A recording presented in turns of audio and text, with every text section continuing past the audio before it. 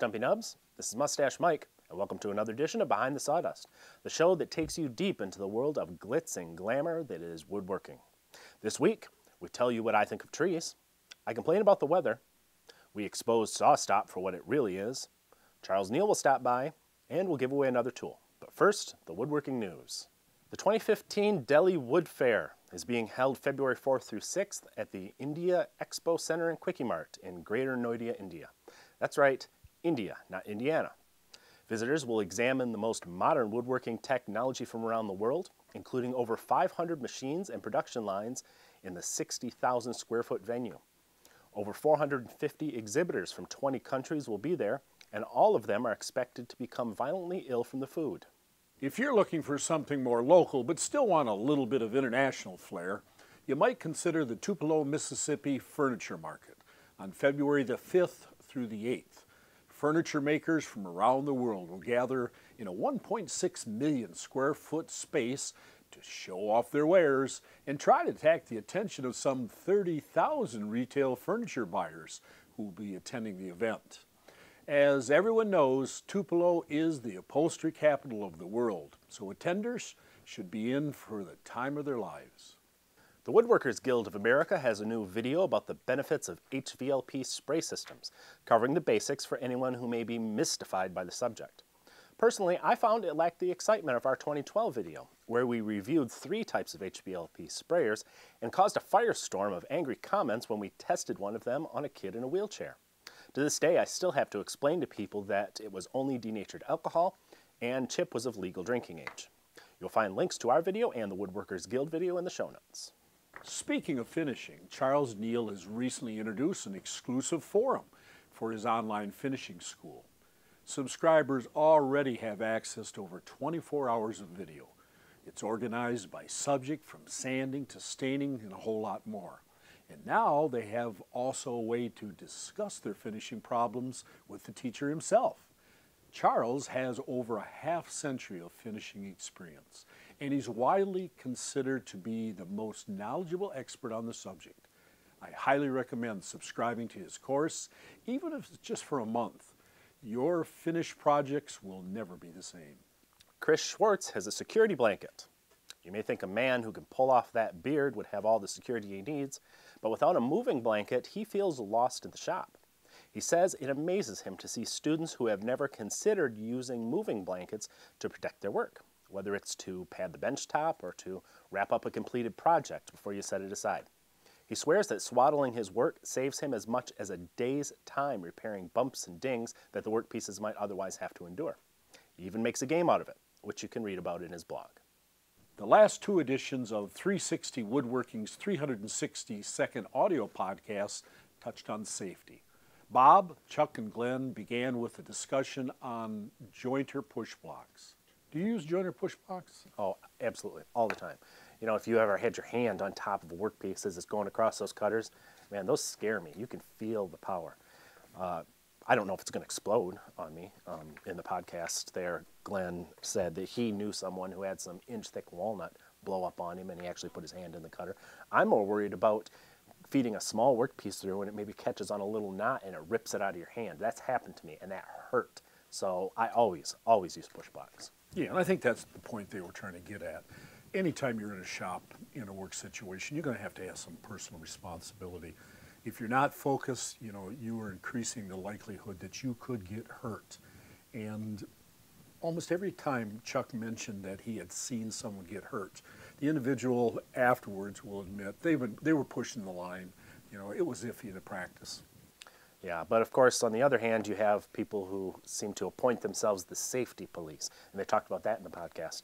Uh, Chuck said that he wrote an article once for um, Popular Woodworking where he had gloves on using the jointer, and he got all kinds of comments calling him an idiot and a moron. And you know, he, he said that if that's all you have to add to a conversation, just some you know little thing about a little safety practice that's not something serious, don't bother because it's just not helpful. Yeah, and obviously he was not saying that safety tips aren't helpful. No, no, he was talking about the people who nitpick or who think they know more than they actually do. You can use the gloves as an example. I did a video uh, a couple years ago where I had gloves on as I was using a table saw, and people just went nuts over that. But if you really think about it, it would be awfully hard for tight-fitting gloves to even make contact with the blade, much less get stuck on the blade and suck your arms off. Uh, there's even a video online where somebody is dangling the glove in the blade trying to get it to catch and it just won't no matter how hard he tries. So, you know, the point is that there's a difference between constructive criticism and just talking about things that you really don't know about just because you want to criticize people. Graham Haydon wrote a great blog over at Fine Woodworking about tuning up a coffin smoother. He noted that these tools may look primitive, but they're the result of centuries of evolution at the hands of men who counted on wood-bodied planes to make a living.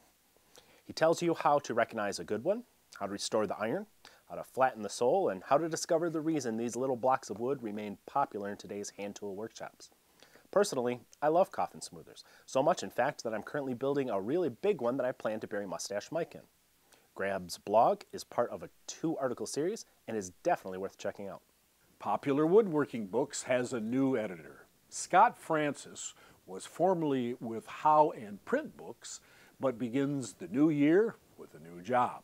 He's already working with several authors on a collection of titles due out this year, including A.J. Hamler's Build It With Dad, Alan Lacer's Wood Turning Projects and Techniques, Michael Crow's Making Mid-Century Modern Furniture, and of course, our own Stumpy Nubs upcoming masterpiece, Homemade Tools from Stumpy Nubs Workshop.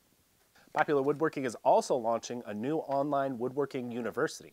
Students can select classes they wish to attend from the comfort of their own home, learning through written articles, downloadable resources, and streaming video. Each class will be conducted by an expert in the field who will write his own curriculum. The classes will be held over two or three day periods, and the students who enroll will be provided with a private chat room where they can interact with the instructor and each other. There are only a few classes online right now, but more will be added, including one taught by yours truly this spring. The subject of that class has not been revealed, but I do plan to invite Mike in as a guest speaker to discuss the dust collection benefits of his fine mustache. Mark the Wood Whisperer is asking people about how much they are willing to spend for a good woodworking book.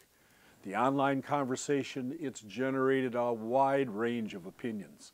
It includes a poll with selections ranging from I can get all the content I want online to prices no obstacle to my learning.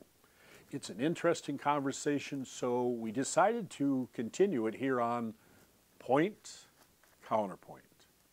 I have a lot of books. Every wall in my office is covered with shelves full of books. Not only am I willing to spend money on them, I prefer the feel of paper in my hands. I prefer digital books. They're generally less expensive, and I really don't miss the paper cuts I get from the old-fashioned versions. If books are old-fashioned, then we are in big trouble as a society. Woodworking is about tradition, and nothing says tradition like an old leather-bound copy of Moxon or Roubo. You can't get the same learning experience from a picture of a book on an LCD screen. What Stumpy fails to understand is that reading a woodworking book isn't about the experience, it's about the content. And those of us with poor eyesight can benefit from the zoom feature found only in digital books. And what the lip broom fails to understand is that some of us wear glasses just because we look good in them. Not everyone has inch-thick pop bottles on our face, and even those who do can usually read a piece of paper. Bound books have been teaching woodworkers since Gutenberg printed his lesser-known Bible of Woodworking Joinery and Dissertation on Chisels in 1468. Perhaps Four Eyes here doesn't need his glasses for reading, but it's pretty clear to me what the real problem is. He, he hates trees. He became a woodworker just to indulge his sick tree slaughtering fantasies, which are now being exposed by his insistence that entire forests be cleared so he can enjoy the feel of paper between his fingers while he reads. The only thing that is clear is that Mustache Mike is one of those new age tree hugging hippies who would rather see an entire generation of children grow up stupid than sacrifice one tree to make a buck. Why do you hate children so much? Look, we're getting off topic. The real question is how much are we willing to spend on a woodworking book? My answer is zero, especially if it's one of Stumpy's books. And my answer is a billion dollars because my book is going to be 250 pages of pure woodworking knowledge. Sort of thing somebody around here could benefit from if he actually knows how to read. Stumpy may be willing to spend a billion dollars on it, but within a week, everyone else will be picking it out of the bargain bin for a nickel. Thousands of copies will find their way into bathrooms where the pages will have real value. They'll be used for wiping, not reading. I wish I could fire you. I wish I could set fire to you.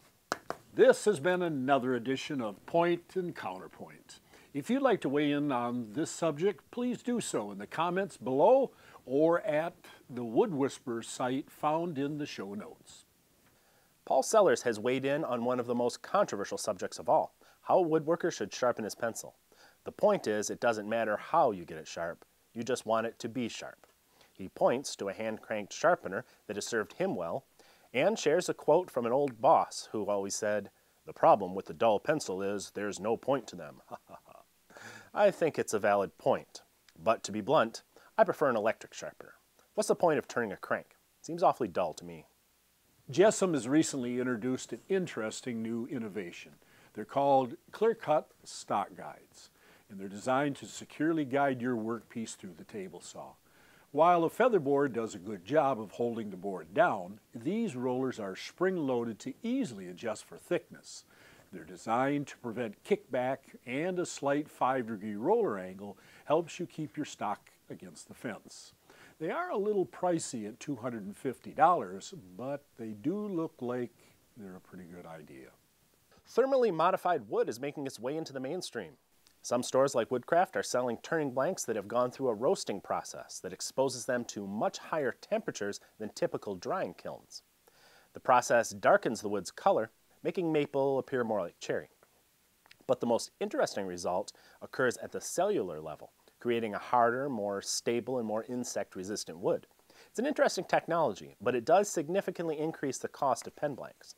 And let's face it, if the ink pen in your pocket is becoming infested with insects, you have bigger problems on your hands.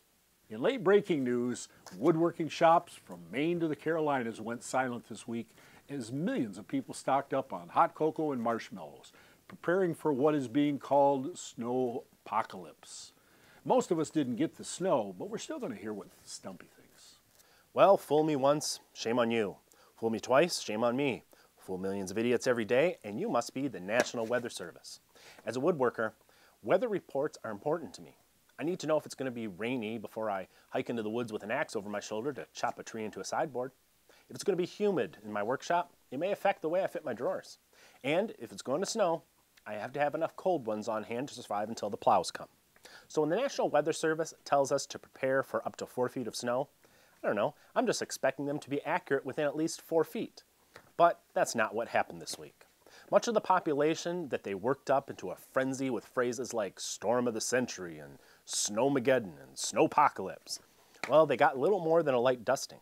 They shut New York City down, and they didn't even get a foot there. When I was a kid, a foot didn't even shut school down.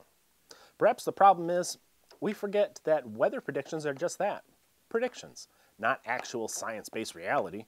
They have no idea if it's going to rain tomorrow. Sometimes they have no idea if it's raining right now. They could increase their accuracy simply by sticking their head out the window, but they can't do that because they have to be on television every three minutes for the next prediction. This is yet another example of how the old way of doing things were better. Old-timey forecasters would have been less dramatic and more accurate. We go something like this. It was hot today, I know because everybody looked pretty sweaty. Tomorrow should be fair, with a chance of tolerable by afternoon. Old man Rabishaw's knee is predicting rain overnight, but we'll all be asleep by sundown, so nobody cares. You see, it's realistic. It doesn't promise too much because it's intentionally vague. That's why I plan on getting all of my weather reports from now on out of the Old Farmer's Almanac. The forecast is always the same. Cold this winter, hot this summer. Gonna get some snow, gonna get some rain. That's a forecast we can all depend on. That's all I've got to say about that. Woodworkers Journal has launched a new website. It follows the recent revamp of its parent company's site, Rockler.com. It's described as a new state-of-the-art online experience designed to work well on both home computers and on mobile devices. Editor Dan Carey says it's just the thing for killing time in line at the DMV. I would add that a good sturdy mobile device is just the thing for killing other things at the DMV.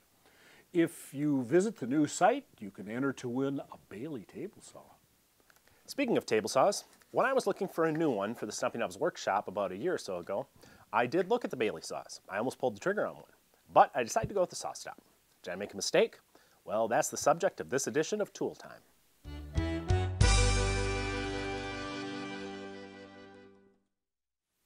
Normally, the stash tries out the tool and gives us his opinion based on his scientifically proven mustachiometer.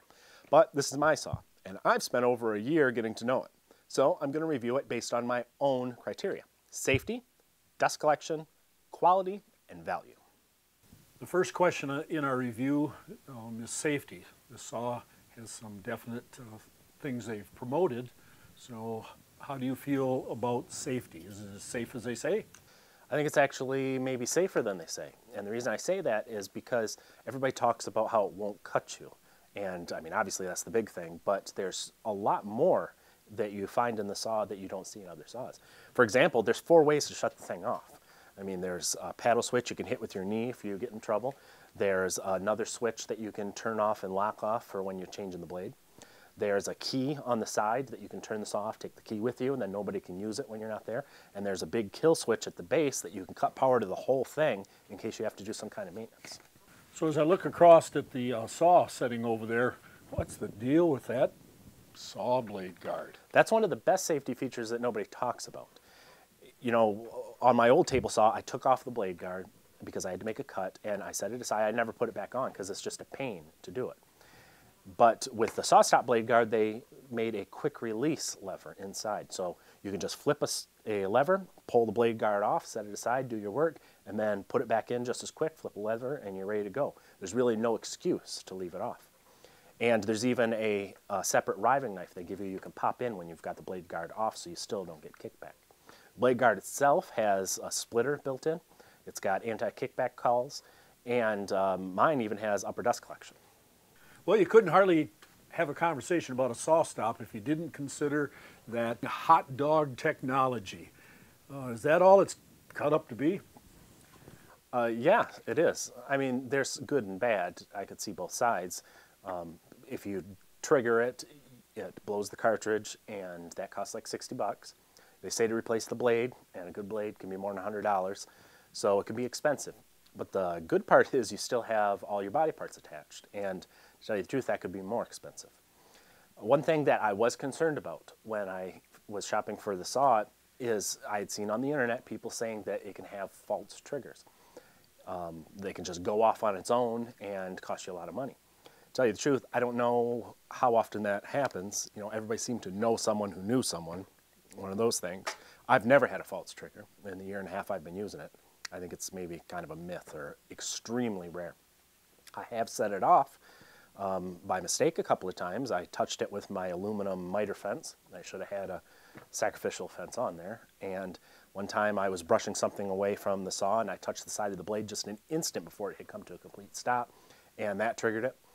Uh, but those were my fault. It wasn't the saw's fault. Another question I've seen on some of the uh, woodworking sites and on the blogs is this question about cutting wet wood. So if you cut wet wood, is it going to bang you know, stop it? It can, but it would have to be really wet. I mean, like spraying up in your face wet. And who cuts wood like that? Uh, maybe turners. But to tell you the truth, if, if you wonder if it's going to be set off by something, they built in a feature that allows you to disable the trigger, and then you can make your cut, and it will actually tell you if it would have triggered without actually doing it. So you can test wood that you think might be too wet, or if you think there's a big nail inside or something like that. I don't know if you'd be cutting one with a big nail inside, but the point is, you don't have to trigger it. If there's any doubt, you can test it out. Okay. So overall then, one to five on safety, how do you rate it? I don't see any reason to give it less than five full stars because I don't see a safer saw out there. What, no mustache on the mustachiometer? That's your jam. Okay. So tell us about dust collection. Every shop, uh, modern shop, is concerned about dust collection. How does this saw perform? Well, SawStop says that it gets near 100% dust collection. Um, and when you look at the way they designed the saw, they certainly did everything possible to collect every bit of dust that they could. There's a shroud on the inside that covers the blade and gets most of the dust right there. Um, mine has upper dust collection, which is really a great idea. It's got a small tube, and you think, how can you get enough airflow through that? but it's actually the way they designed that blade cover. It takes advantage of the turbulence created by the blade, which pushes the dust out and into your system so you don't need all the suction at the top. It's really a great idea. The problem is that it all comes down to your dust collector. If you don't have a good dust collector, and you haven't properly run your ducts, especially if there's bends between, too many bends between the saw and the collector, you're not going to get that great a dust collection with any saw. Uh, here in this shop, we've moved stuff around so much that our ducts are kind of a mess sometimes. And so I haven't really experienced 100% dust collection. But I still think it's better than any other saw that I've used. And other than, I would have liked to see a six inch port on the back. I know that a lot of people use four inch dust collection, but my saw is the industrial saw. And you would think an industrial saw would have bigger dust collection anyway. And besides, it's easy to adapt down from a six inch to a four inch. I don't know how that would change the inside of the saw, but I would have liked to have seen that. Otherwise, uh, it does really well in dust collection. So when matched with a proper dust collector, how would you rate this saw as far as dust collection? Um, I would say definitely four out of five stars. Obviously, then we want to know quality wise. How, how do you rate this as far as quality? Well, that was another thing I was wondering about as I was shopping for a saw um, because you know this saw in particular you've got the issue of the brake when that triggers that's got to send a lot of energy right through the saw and I would think that that would throw everything out of adjustment. I did expect it to come tuned up and perfectly adjusted and it did. They really spent the time at the factory. But after I had set it off one or two or three times, I was surprised that it was still in perfect alignment. And the reason is because the thing is just massive. I mean, if you look inside the saw, everything is overbuilt. It's just big and beefy. The, uh, the arbor's bigger, the trunnion, the, the bearings, everything is just overbuilt. And I mean, it weighs, the industrial saw weighs 700 pounds. All that weight, it not only keeps it aligned, and, but it also dampens vibrations, gives you a better cut. We even dropped the saw twice when we were trying to put it on the mobile base, and it still, you know, performs just like new. All right. How about adjustments on this saw? Well, have you seen how big those wheels are? I mean, it's like steering wheels. Uh, you would think that with a wheel that big, I mean, you'd have to. It's a five horsepower motor and all that cast iron inside. You, it'd be hard to turn. You need big wheels. It's actually not the case. I was really impressed that you could just use one finger to make the adjustments because they really took the time to balance the carriage. Um, it's perfectly balanced, and they also have a uh, gas lift feature on the lift mechanism that makes raising and lowering the blade easy. So you can really make fine adjustments and they stay where you adjust them to. All right. Now you're never going to get good accurate cuts without a good fence. How about the fence on the saw stop? Like everything else, it's huge. I mean, it weighs twice as much as my uh, old table saw fence. And it still adjusts smoothly. The cam works nice and locks down and stays put. I tried to uh, make it deflect, really pushed on it hard. I can't get it to deflect. It's just that well built. I did, um, after about a year, I put my Incra LS back on the saw, and the reason was because I had so much invested in that. But to tell you the truth, I miss the simple accuracy of the saw stop fence, so I'm planning on actually putting it back on. So given all those different factors, how would you rate the quality to them? Definitely five out of five. I really don't think it lacks anywhere. All right. Now, uh, the big one, the price, value. How does SawStop stack up as far as value? That is a big one because it's expensive. All that you know, precision and uh, you know, craftsmanship comes at a price. Um, I got the industrial model with a five-horse motor, and I got all the accessories and extra blades, cartridges, uh, shipping, freight. It all came out to about five thousand dollars. That's a lot of money for a saw. My truck didn't even cost that much.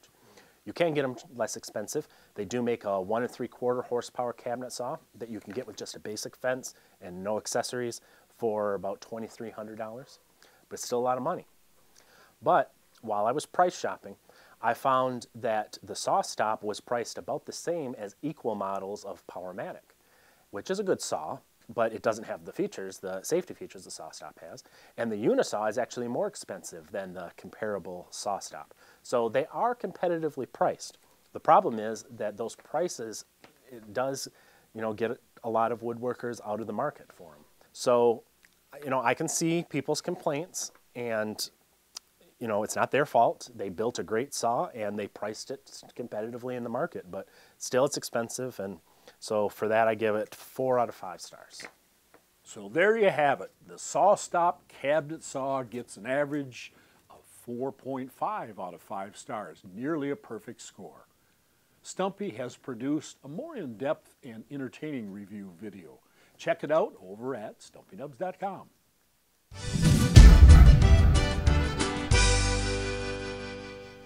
We have a special guest for our tip this week. It comes from master woodworker Charles Neil. We're going to hang them on a French cleat.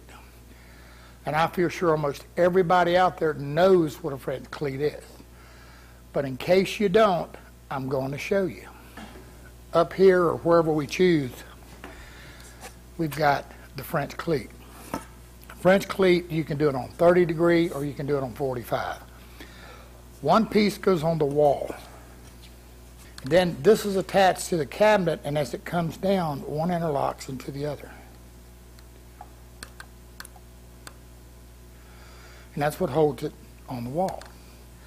I hate looking at a set of cabinets and seeing screws all over the place.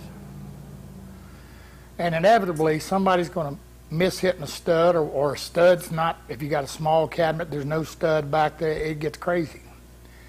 This French cleat will be attached to the back up here. We'll be able to glue it, screw it, really secure it well. What we're going to do is we got to notch it down here. We got to take some of this out so that you have room when you go to hang it to slip it up over so it interlocks. Now we'll do that all the way down. Except, of course, except for the end panel here where it shows. Make sure when you're locating your cleats that you locate them in exactly the same spot. Then you can go in and you can take a long strip that goes on the wall and you can go down that wall and screw wherever you want, wherever you need. And if you miss and don't hit a stud and you got a little ugly spot, who cares? It's hidden. And then when you go to install them, it's just set them. They're there. Charles teaches fine woodworking over at cnwoodworking.com.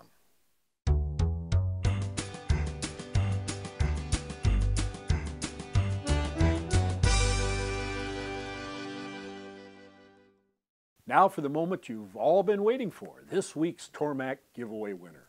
Pat Zimmerman has won a Tormek bench grinder tool rest courtesy of Affinity Tools. We still have two more prizes to give away, including a new T4 sharpening system. Here's how to enter. Number one, if you haven't already, and I don't know why you wouldn't have, you need to be a subscriber to our YouTube channel. Number two, if you're not already, you need to add the Stumpy Nubs Twitter feed to your follow list. And then number three, you have to add the Affinity Tools Twitter feed to your follow list on Twitter. And then you need to tweet out this. Well, that about wraps things up for this edition of Behind the Sawdust. Tune in next week to see me pick ticks out of Mike's stash like a monkey. Don't forget to tell your friends about us on social media and visit stumpynubs.com at least once a week for the best in woodworking infotainment. It's a great place to sit back and have yourself a cold one, because you've earned it, my friend.